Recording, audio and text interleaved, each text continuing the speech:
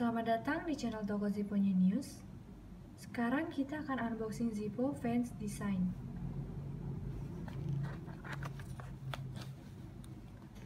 Di bagian tutupnya terdapat user manual. Zippo ini memiliki finishing high polish brush dengan ornamen color imprint.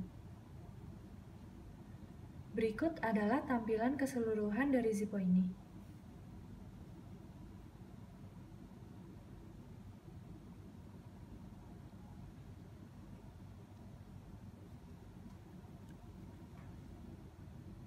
Di bagian bawah terdapat merek Zippo. Kode huruf di kiri menunjukkan bulan produksi, dan kode angka di kanan menunjukkan tahun produksi. Ini adalah tampilan dalamnya.